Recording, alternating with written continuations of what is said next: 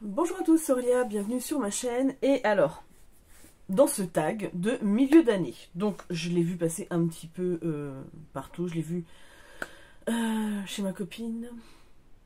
Ténébris Somnia, faut que je me fasse au nom de ta chaîne, euh, Adeline, hein, parce que voilà, c'était facile Bullish Bookish au final, mais bon. Bref, Ténébris Somnia. Et je l'ai vu sur, ben, au début, Lado Vintage, voilà. Euh, j'en ai vu passer plusieurs. J'ai ma copine Ingrid la lectrice aussi qui l'a fait. Euh, enfin, en tout cas, qui a fait son bilan demi-année. Donc, voilà. Hein. Donc, j'ai mon euh, super petit papier, hein, vous imaginez. voilà, j'ai tout noté.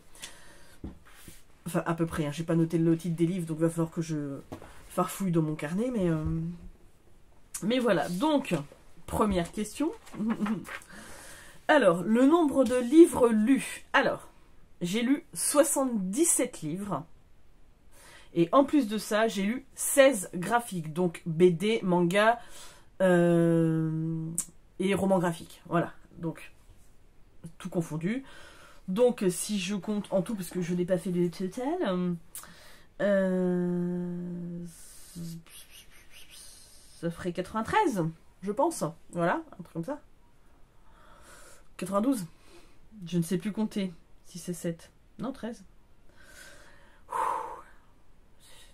Voilà. Hein. Donc ça ferait 93 en tout. Voilà. En tout, j'ai lu... Euh, parce que moi, je vais vous faire mon bilan, je vais répondre aux questions en même temps. C'est un petit peu un mix de tout. Hein. Euh, le nombre de pages lues. J'ai lu 29 538 pages. Euh, en tout, j'ai eu 10 coups de cœur. J'ai abandonné un livre. Voilà, un seul, je crois. J'ai pas trouvé. Euh, j'ai vu que des abandons zéro sinon. Alors, euh, je dis pas de bêtises. Je pense que c'est ça. Abandon zéro.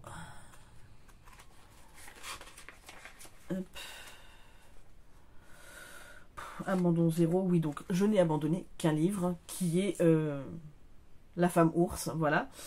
Donc ensuite, euh, je vais vous faire un topo euh, très rapide de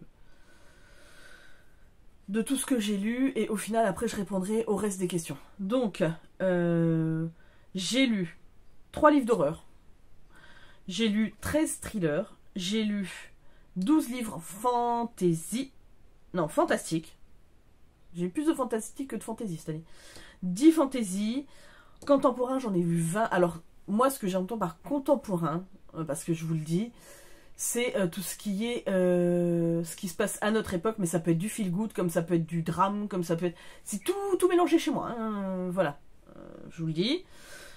J'ai lu 4 livres historiques, donc à base de romans, de faits historiques ou qui se passent dans l'histoire, on va dire ça comme ça. Euh, deux livres classiques, j'ai lu deux post-apo, deux young adultes, euh, 11 jeunesse. De toute façon, le jeunesse, c'est une catégorie que j'aime énormément. Deux dystopies, deux SF, ce qui est beaucoup pour moi, puisque d'habitude, la SF, j'en lis quasi pas. Et ça y est, il commence à pleuvoir. C'était prévu, il devait pleuvoir à 10h, on y est. Voilà, ils, ont, ils sont pas trompés. Euh, il est 10h pile.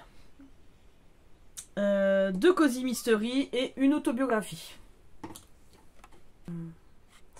Désolée, il fallait que j'éternue. Euh, voilà. Il fait tellement chaud et tellement beau ici. Hein C'est tellement... Euh, qu'est-ce que ça m'a fait, lui Je sais pas. Il bizarre mon téléphone. Euh, voilà, et je vais vous donner... Alors donc, en livre français, j'en ai lu... Donc roman, roman et BD, hein, je veux dire. Tout confondu, 55. En américain, il y en a eu 13. En anglais, il y en a eu. Enfin, d'auteurs anglais, c'était 9. Parce que j'ai pas lu dans la langue. Hein. Euh, livre canadien, il y en avait 2. Japonais, il y en a 12. Coréen, il y en a 1. Belge, 2. Irlandais, 1. Franco-portugais, 1. Et écossais, 1. Voilà. Donc vous avez le détail complet de ce que j'ai lu. Hein. Et euh, comme ça, moi, ça me fait. Euh, je vais garder ça. Comme ça, pour la fin de l'année, ça va être plus simple de m'y retrouver. Donc, mes meilleures lectures de ces six premiers mois. Donc, je pense que c'est tout ce qui est coup de cœur. Je pense. Euh, alors, je vous dis que j'en ai eu 10. Donc, j'ai eu, j'ai eu, j'ai eu, j'ai eu. Tant que le café est encore chaud, j'ai adoré. Alors, je vous fais pas de classement de celui que j'ai préféré à celui que j'ai le moins aimé, puisque je les ai tous aimés si c'est des coups de cœur. Donc tant que le café est encore chaud, euh, c'est une histoire où, euh, comment dire, euh, quand vous allez dans ce café, donc il s'appelle le Funiculi Funicula, si vous commandez un café, vous pouvez retourner dans le passé, alors sans rien changer, mais, enfin sans rien changer, juste pour voir les personnes que vous voulez voir qui sont dans le café, et, comment dire, vous ne pouvez pas changer les choses, c'est ça que je veux dire puisque c'est sur un instant T. Mais, euh, mais pour vous faire du bien à vous, vous pouvez y aller, voilà. Donc, euh, voilà, revoir ces personnes-là. Donc, euh, j'ai beaucoup aimé, et donc du coup, c'est ma cousine qui me l'a offert pour Noël, comme quoi elle a bien ciblé. Et, et du coup, ben, j'ai acheté la suite, hein, parce que vraiment, vraiment, j'ai aimé. donc ça c'était au mois de janvier. Au mois de janvier, j'ai aussi... comment dire euh, il est où? Les mémoires d'un chat. Voilà. Euh, de, je ne sais plus comment il s'appelle là. Où es-tu? Où es-tu? Où es-tu? Ça se voit que c'est encore préparé ce. Voilà. Hein. Euh, de Hiro Arikawa. Voilà. Donc. Donc voilà. Alors lui, j'ai pleurer, mais toutes les larmes de mon corps sur ce livre. Vraiment. C'est-à-dire que la fin, je crois que les 100 dernières pages, je n'ai fait que de pleurer. Voilà. Bref, j'ai adoré. Euh, et, c'est une certitude, je le relirai. Je pense que comme tant, le, tant que le café est encore chaud, je le relirai aussi. Et en fait, c'est dans la même lignée si vous avez. Euh, enfin, tant que le café est encore chaud. Pas les mémoires d'un chat, mais euh, un peu des. Les miracles du bazar d'Amia. Je trouve que ça fait un peu dans le même genre en fait. Euh, même si c'est pas la même histoire et voilà, mais il y a un truc. De toute façon, les Japonais ils ont ce truc-là, donc euh, voilà. Ensuite, euh, qu'est-ce que j'ai eu d'autre comme coup de cœur? J'ai eu Scandar, Scandar et le vol de la licorne. J'ai adoré ce jeunesse fantasy, mais il est juste formidable, vraiment. J'ai adoré Les loups chantants de Aurélie Wallenstein. C'était mon premier d'elle et j'ai adoré cette histoire. Euh, alors, j'ai un gros coup de cœur pour une saga, voilà, euh, dont j'ai lu les 4 premiers tomes, je crois, 4-5 premiers tomes 4 premiers tomes, euh, Sauveur et Fils. Voilà, j'adore Sauveur et Fils, vraiment. Je Voilà. Et je pense clairement que Sauveur et Fils, alors je dégage plein de livres, mais Sauveur et Fils, je les ai pris à la bibliothèque. Et je pense très clairement que si je me les trouve en occasion, je vais me les prendre clairement, parce que j'ai adoré et je suis sûre que ça, j'aurais envie de les relire un jour. Voilà. Hein. Euh, ensuite, euh, j'ai eu beaucoup moins de coups de cœur derrière. Euh, j'ai. comment dire? Ouais, je suis en train de réfléchir, je regarde, mais j'ai eu des très bonnes lectures. Alors, si. j'ai adoré le roman graphique Ces jours qui disparaissent de Timothée Le Boucher. Vraiment, c'est une pépite. Donc, il a écrit aussi Le Patient, je crois que c'est ça, si je dis pas de bêtises. Ouais. Qui est un petit cran en dessous, qui est très bien, vraiment. Mais alors, ces jours qui disparaissent, mon Dieu, c'est une vraie pépite, quoi. Et euh, en fait, c'est un, jeune homme qui un jour se réveille et en fait, il se rappelle pas de ce qui s'est passé la veille. Et en fait, c'est comme s'il avait une autre personnalité qui se réveillait dans son corps et qui prenait le contrôle de son corps. Et euh, comme ça, comme ça, comme ça. Et plus ça va, moins il est dans son corps. Et c'est juste, euh, mais c'est génialissime. J'ai adoré cette lecture. Vraiment. Donc euh, oui, les romans graphiques, il y en a des, mais il y a des vraies pépites. Hein. Et sinon, eh ben, mon dernier coup de cœur en date, voilà, mais non des moindres, je le dois à mon ami Jean-Luc Conessa, donc pour Nos vies sans elle, que j'ai adoré. J'ai j'ai vécu toutes les émotions dans ce bouquin. Parce que j'ai ri aussi, j'ai. Enfin voilà, j'ai pleuré. Et euh, je peux que vous conseiller, si vous ne l'avez encore jamais découvert, mais euh, découvrez Jean-Luc ça. Oui, c'est un auto-édité, mais alors, euh, il est d'une gentillesse. il écrit plein de genres différents, donc de toute façon, forcément, vous pouvez trouver votre compte. de toute façon. Voilà. Alors moi qui aime plein de lectures différentes, ben moi ça me va. Voilà. Donc c'est pas pour lui faire de la pub, mais je lui fais de la pub quand même. Voilà. Bref. Et euh, je peux... Voilà, allez-y. Parce qu'il a écrit des, des vraies pépites, des, des, bouquins qui sont documentés. Enfin, voilà. Foncé. Parce que vraiment, vraiment, il est très très bien. Petite parenthèse pub faite. Voilà. Je ne suis pas rémunérée pour ce sponsor, ce, partenariat. Non, c'est même pas un partenariat, mais je ne suis pas sponsorisée et, euh, et ni rien. Mais euh, voilà. Il faut, reconnaître quand il y a des auteurs qui sont vraiment très gentils, très abordables et, et qui écrivent très bien. Voilà. Bref, parenthèse fermée. Mes pires lectures. Alors, mes pires lectures, bah en fait, comme j'ai abandonné La femme ours, bah pour moi c'était ça. De Carolina Ramqvist, un, nom euh, à coucher dehors, excusez-moi du, terme, mais pour nous, un français, un, nom à coucher dehors. Euh, en fait, à la base, on était censé euh, suivre euh, puisque le livre est présenté comme ça, euh, Marguerite, je ne sais plus comment son nom, enfin dans les années 1500, euh, qui est exilée sur une île enceinte et qui doit vivre au milieu des bêtes sauvages, tout ça, enfin, et qui doit s'en sortir. Elle, donc elle vit deux ans sur cette île. Sauf qu'en fait, on se retrouve avec un roman où vous avez l'écrivaine qui fait des recherches pour un de ses romans, je crois qui tombe justement sur le prénom de Marguerite. Et elle essaye de savoir ce qui s'est passé pour elle. Donc, là, ça se passe en, dans un pays, euh, Finlande, Norvège, Suède, un truc comme ça. Je ne sais plus lequel. Euh, je crois bien la Suède. Mais, euh, mais donc, du coup,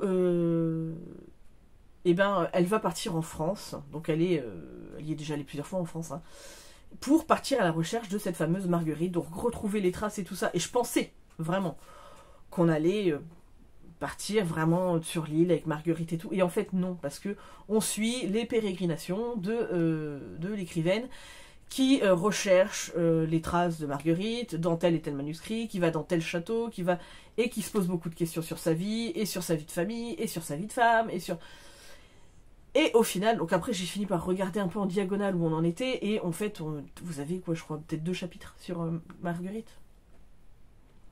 Et c'est pas ça que j'avais envie de lire. Donc même si le roman était peut-être très bien, hein, je n'avais pas envie de lire ça. Euh, moi, je voulais lire Marguerite et son île.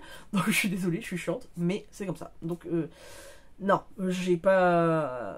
Ça a failli me provoquer une panne de lecture parce que c'est pas ça que j'avais envie de lire. Donc je dis, je, lâche l'affaire. Je ne dis pas du tout par contre qu'il n'est pas bien parce qu'il était bien écrit et tout, c'est pas le problème. Mais moi, je m'attendais pas à ça et euh, des fois, c'est une bonne surprise quand on s'attend pas à un truc. Mais avec moi, là, ça l'a pas fait. Bref. Sinon, il y a eu euh, Le sang des bêtes. Je crois que c'est. Non, ou comme des bêtes. C'était quoi? C'était quoi C'était quoi C'était quoi? Euh...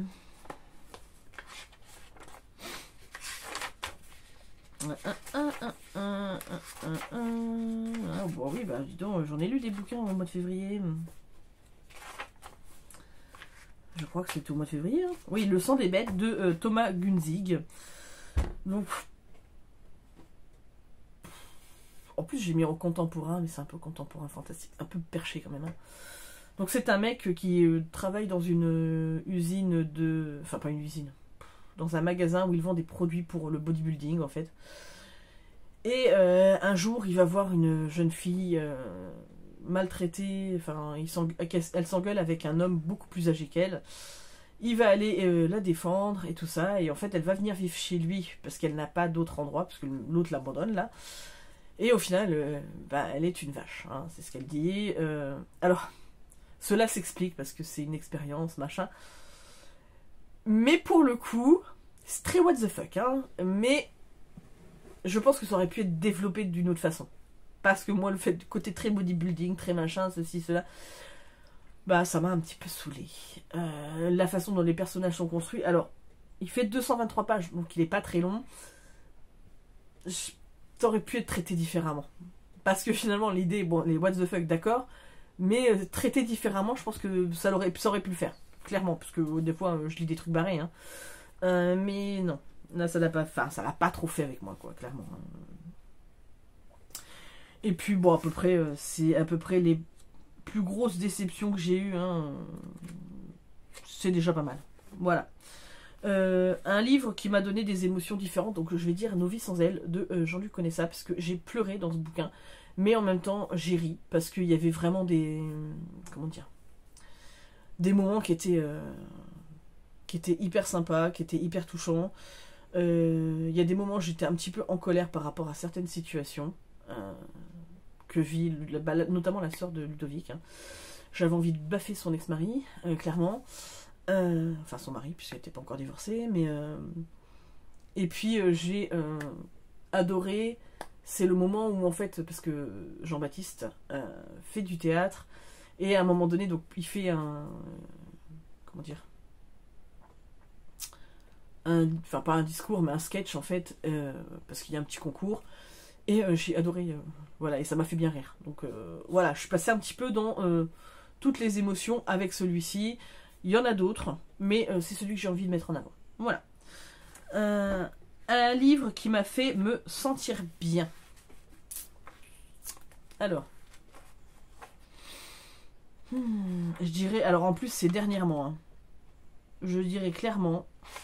Ben. Euh, merci, grazie, thank you de Julien Sandrel et euh, Le jour où j'ai appris à vivre de Laurent Gounel. Alors, il faut savoir que Laurent Gounel, de toute façon, enfin, et euh, Julien Sandrel, les deux, je suis. Euh, alors, fan absolu. Je ne garde pas leurs livres, hein, mais je suis fan absolu et je me dis si je veux les relire, eh ben, j'essaierai de me les prendre sur liseuse parce que ça me prendra moins de place. J'ai retrouvé ma liseuse. Ouais, bon, je l'ai pas, j'ai pas essayé de revoir si elle fonctionne, mais je l'ai retrouvée. Mais pour le coup, ils m'ont fait me sentir bien parce que ça m'a fait me poser plein de questions plein de questions sur la vie, plein de questions sur ce que j'ai vécu euh, dans ma vie en règle générale. Et euh, ce que je voudrais accomplir et pour ne pas regretter les choses. Donc en fait, j'en suis ressortie avec plein d'émotions aussi, parce que ces deux, ces deux livres-là aussi. Mais clairement, je vais enlever mes lunettes parce que je vois qu'il y a beaucoup de reflets dedans. Euh, mais clairement, j'ai vraiment, vraiment apprécié. Et de toute façon, j'apprécie ce genre de lecture. Voilà. Hmm. Ensuite, bah, un livre qui m'a fait pleurer. Je pense que j'en ai déjà parlé, donc il y avait Nos vies sans elle. Mais celui qui m'a fait le plus pleurer quand même, c'est Les Mémoires d'un charme. Vraiment. Parce que celui-là, je vous dis les 100 dernières pages, et je me rappelle avoir ma belle-fille et ma fille qui arrivaient, mais pourquoi tu pleures? Parce que c'est Christ. Parce que c'est beau, parce que c'est tout. Voilà. Et, parce que c'est cette sensibilité euh, qu'il y a dans les livres japonais que j'apprécie tellement. Voilà. Ensuite, un livre dans euh, lequel j'ai adoré le personnage principal. Alors, il y en a beaucoup où j'ai aimé le personnage principal. Mais euh, je suis en train de réfléchir. papa, papa.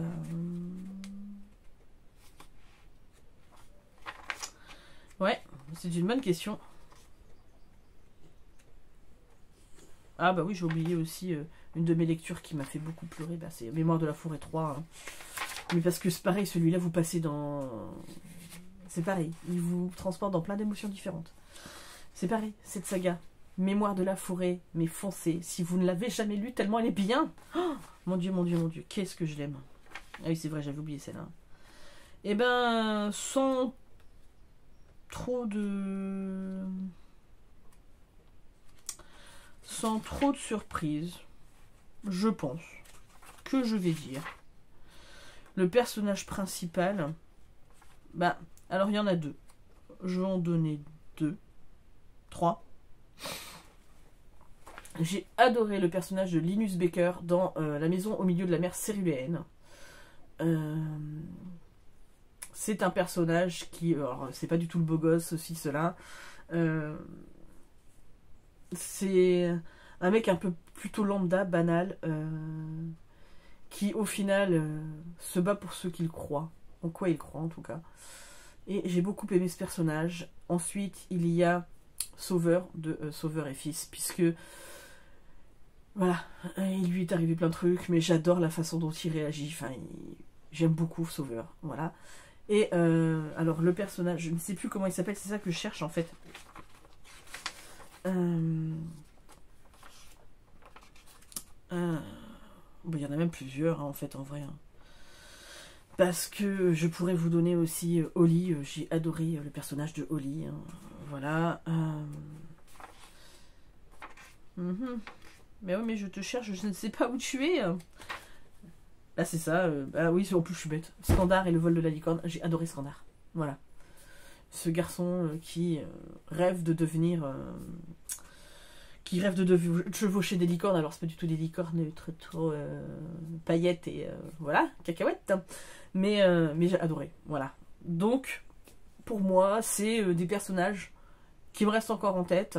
Euh, je vais pas vous ressortir encore les ceux qui m'ont fait pleurer et tout, parce que bon, ben voilà, vous avez compris que j'ai adoré. Bon, bah, Mémoire de la forêt, c'est pareil. Hein. Archibald et son neveu, je les aime tellement que bon, bah, voilà. Après, il y en a tellement, tellement, tellement. Voilà, et donc, ben, sinon, qu'est-ce que je tire comme bilan de ces six premiers mois de lecture? Alors, de mémoire, je pense que l'année dernière, j'en avais lu une soixantaine, je crois, de bouquins. Je crois. Donc là, j'ai déjà largement dépassé euh, mon quota de bouquins. Bon, on vrai dire, je ne travaille pas non plus. Donc euh, j'ai plus de temps. Entre guillemets. Parce qu'on ne croit pas comme ça, mais euh, voilà, par exemple, là, cet après-midi, je vais à la boum de l'école. demain, on va chercher un cadeau pour la maîtresse et on va chez mes parents. Jeudi, c'est toute la journée aux Olympiades de l'école, donc on va à la plage. Et euh, le vendredi, on fait l'immersion en camp, euh, enfin en 1944, au camp Patton, à côté de chez nous. Euh, donc ils font une journée, enfin un week-end entier, mais nous on y va le vendredi, pour découvrir la vie en 1944, la guerre, tout ça. Voilà, donc ça va être très intéressant pour les enfants. on a la, entre guillemets, chance hein, d'avoir beaucoup de choses, nous par rapport au débarquement et tout ça. Donc ben, c'est bien pour les enfants. Ça leur permet euh, de recontextualiser les choses dont ils entendent parler. Voilà. Mais donc du coup, oui, c'est pour vous dire que, l'air de rien, j'ai du temps comme ça, mais pas tout le temps non plus. Et puis ben les, les six premiers mois, et eh ben en comparaison de toutes les autres années, euh, ben là j'ai explosé mes compteurs de euh, graphiques. Voilà, alors ça paraît pas beaucoup, 16, mais en comparaison de ce que j'ai lu, même les 3-4 dernières années, c'est euh, j'ai explosé les compteurs, clairement. C'est énorme. Donc ben, moi ça me va, sachant qu'en plus là, j'ai acheté deux BD à ma fille. Alors il y avait les promos 3,90 là. Bon, il y en a une à 3,90, l'autre je crois que j'ai payé quasiment 12 euros. Mais c'est les filles de Dad et les doudous des Sisters. Mais j'aime bien ces dessins animés là, alors du coup je les regarde avec ma fille. même si on les a vus 50 000 fois, mais comme ça lui faisait plaisir, euh, je les lire en même temps. Voilà. Euh, ça fait un moment qu'on n'est pas allé à la bibliothèque. On va peut-être y retourner, euh, je pense, là cet été. ça dépend du temps qu'on a. Mais voilà, mais en fait, je suis très satisfaite de moi, clairement, par rapport à mes lectures. Vraiment, parce que quand je regarde aussi la façon dont j'ai ciblé mes lectures, je cible vraiment de mieux en mieux ce que j'aime lire. Euh, je suis très surprise au final d'avoir lu beaucoup plus de contemporains que de thrillers, comme quoi les goûts évoluent. Euh, Puisqu'avant j'avais une majorité de thrillers, mais j'avoue que euh, même si je surkiffe les thrillers et tout ça, euh, lire autre chose me fait du bien. Voilà. Et puis parce que des fois, ben, c'est bête à dire, mais par exemple j'ai lu La Veuve de Fiona Barton. Oui, c'était bien, mais ça restait hyper classique, quoi. Enfin, j'ai pas eu de grandes surprises, grandes révélations, grandes machins. Il y avait des trucs que je les ai vus venir à. Alors, c'est bien de changer un peu parce que ça me permet de re. Ça va me permettre sûrement de réêtre. Ah D'être de nouveau surprise euh, avec des thrillers. Voilà. Euh, j'ai lu trois livres de livres, enfin trois livres d'horreur. Ça faisait un moment que j'en avais pas lu autant, je crois. Et ça reviendra, je pense, sur la fin de l'année. Hein avec Halloween et tout ça. Non, moi ça me va. Bon, jeunesse, j'aime toujours ça, donc euh, voilà. Donc non, je suis très satisfaite de moi, clairement, hein, par rapport à par rapport à tout ce que j'ai lu bah, l'année dernière, que j'avais pas beaucoup de temps, et, euh, et j'avoue que même si je devais retrouver du travail, enfin même si je devais, je vais retrouver du travail, c'est pas même si je devais, hein, quand je retrouverai du travail, j'avoue que euh, mes temps de pause, euh, je les consacrerai à la lecture. Parce que c'est bien gentil d'être avec mes collègues et euh, j'ai aimé ça. Mais j'ai besoin ma soupape de, lecture. Vraiment. Parce que des fois le soir, moi quand je rentrais, hein, euh, quand il est déjà 7h, 7h15, le soir, eh ben, vous faites à manger, la douche, vous vous posez bah, pour manger, regardez un petit peu la télé, machin, et au final, vous vous lisez quasiment pas, quoi. Donc, cette soupape, de, voilà, j'en ai besoin. Ça veut pas dire que je mangerai pas avec des collègues ni rien, mais pas tout le temps. Voilà. Parce que je me connais. Hein. Parce qu'au bout d'un moment, ben, j'aime bien toute seule. Voilà. J'avoue. J'avoue, j'aime bien toute seule. C'est comme ça, hein. J'ai besoin de mes moments toute seule. Quand je travaille, je les ai pas, en fait. J'ai pas le temps de les avoir, mes moments toute seule. Et puis bah là, quand je suis à la maison, j'ai besoin d'avoir du monde aussi. Mais euh, mais j'ai, je peux avoir mes moments, mes moments de solitude, des moments où je fais ce que je veux. Et donc voilà, ça me va. Voilà. Bref, vous en fichez, vous avez raison. Euh, en tout cas, je suis très contente de moi. J'espère que l'année va continuer comme ça. Par contre, euh, niveau euh, dépenses, bouquins, j'en ai fait, mais pas non plus. Ça n'a pas été, ça n'a pas été Byzance quoi. je pense que de mémoire, Au mois de février, j'ai surtout été chez Emmaüs. Donc j'ai dû avoir. J'ai dû peut-être acheter 2-3 bouquins neufs. Euh, au mois de mai, j'en ai pas acheté. Au mois d'avril, j'en ai peut-être acheté deux. Non, j'en ai acheté un. Deux, trois. Ouais, parce qu'en fait, au mois d'avril, j'ai acheté plein ciel. Donc il est à 28 euros. Donc forcément, euh, c'est cher. Et j'ai acheté euh, La Faucheuse tome 2 et tome 3, euh, donc 8,50€ chacun. Euh, mais c'est tout. Donc j'en ai acheté 3. Et puis, bah, je fais beaucoup d'emprunts à la bibliothèque, ce qui me permet aussi d'éviter d'acheter. j'ai viré pas mal de mes bouquins. J'ai pas fini. Voilà. donc, donc voilà, donc ça me va. Je cible mieux mes lectures. Je ne dépense pas trop. Et comme je le disais, je crois, sur ma vidéo euh, de mon anniversaire, je crois. Euh, maintenant, ce que je vais faire, c'est surtout acheter des suites de sagas. Ou alors, il faut vraiment que ce soit des écrivains. Euh, voilà, là, j'ai pas encore acheté Luxe de Maxime Chatham, mais ça viendra. là, il me faut absolument l'Empire d'écume, le tome 3. Voilà, donc je pense que ce sera un achat que je vais faire en août peut-être, euh, la passeuse de mots, mais je vais continuer mes sagas, clairement. Parce que. Parce que il faut que je les termine. C'est surtout ça, voilà. Et ne plus trop m'engager dans des sagas dont je n'ai pas les autres tomes. Voilà, c'est bien aussi. Voilà, voilà. Bah, en attendant, euh, moi, je vous fais euh, d'énormes bisous. Je vous dis à très très vite pour une prochaine vidéo. N'hésitez pas à liker, à laisser des commentaires, à me partager votre bilan. Euh, si vous l'avez fait en vidéo ou si vous le faites dans, dans, les commentaires, ça me va très bien aussi. Bref, en tout cas, moi, je vous fais d'énormes bisous et profitez bien de la vie, profitez bien de vos lectures, de vos proches, de tout, de vos animaux, de tout le monde. pour vous dire, Vaya va très bien. Vaya Viens-tu, Fifi Viens dormir. Viens-tu Viens Viens ma Hop Va y agrandir. Voilà. Regarde. Regarde la caméra. Oui, oui, oui. Alors, elle grandit, elle grandit, elle grandit. Hein. Là, pour vous dire... Euh... Moi, mais dormez, ma fille. Elle fait des bêtises. Voilà. Ah, tu fais des bêtises. Moi, tu fais des bêtises. Oui. Mais, euh, mais ça n'empêche. Mon bébé chien. Mais elle va bien. Euh, le gros va mieux. Donc, bon, bref. Snoopy va bien aussi. Donc voilà. Et puis elle va retourner se coucher parce que là je l'ai réveillée. Donc, euh, donc voilà, donc elle grandit bien. Pour dire qu'elle grandit bien, c'est que vraiment elle grandit bien. Voilà, bah écoutez, moi je vous fais d'énormes bisous. Je vous dis à très très vite pour une prochaine vidéo. Bye